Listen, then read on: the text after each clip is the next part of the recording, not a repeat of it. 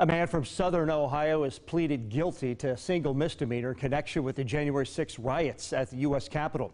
Kenneth D. Massey, who is from Greenfield in Highland County, was arrested in Dayton in February. He initially faced four charges, but only pleaded guilty to one, namely parading, demonstrating, or picketing in a Capitol building.